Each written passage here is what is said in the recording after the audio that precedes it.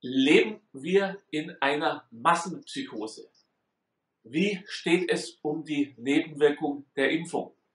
Was hat Corona für Ähnlichkeiten mit der Schweinegrippe? Diese und viele andere Fragen, die habe ich heute diskutiert mit einem der bekanntesten Corona-Maßnahmen. Kritiker Dr. Gunther Frank aus Heidelberg, Autor bei der Achse des Guten, schreibt auch für meine Seite, Autor des Buches Das Staatsvirus und was er da sagt. Ich glaube, das Virus würde fünfmal gesperrt, allem bei Ihren Aussagen zum Thema Impfung. Darum können wir das nicht auf YouTube zeigen. Aber das ist ja heute fast schon ein Qualitätsmerkmal, muss man sagen. Wenn ich sage, ich kann das Video nicht auf YouTube zeigen, dann heißt das, das ist ein interessantes Video. Vielleicht erzählen Sie noch ganz kurz, Herr Dr. Frank, Zensur bereinigt, also die Schere im Kopf dann zu haben, aber nur hier im Video hat er die nicht ganz versprochen, auf Getter, auf äh, Rumble, im freien Internet, ganz spannend. Vielleicht erzählen Sie kurz nochmal das Wichtigste mhm. aus dem Genau, muss ich die äh, mal kurz überlegen. Also vielleicht, ich habe einen guten Rechtsanwalt, ja, also das, das, äh, die Prozesse werden gewonnen.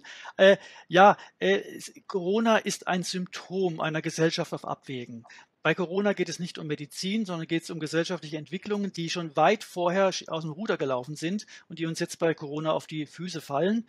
Und das Kernproblem, was ich sehe, ist die äh, Kompetenzentkernung unserer Institutionen. Und äh, das wird jetzt gerade so richtig deutlich.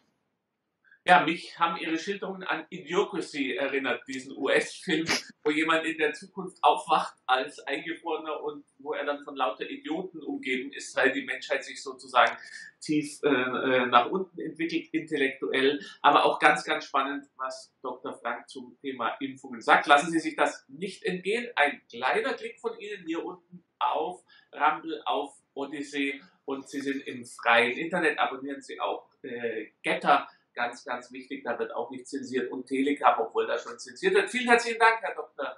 Frank, und Ihr Buch empfehle ich nochmal, zeigen Sie es nochmal auch hier kurz äh, das Staat, der Staatsvirus. Genau, weil, weil es ist ja kein biologisches Problem, was wir haben, sondern ein systemisches. Wie, ein, wie der Computervirus eben haben wir gerade ein Problem mit dem Staatsvirus. Also ein Buch, das ich wärmstens empfehle. Vielen herzlichen Dank, alles Gute, auf Wiedersehen. I choose, I choose the day.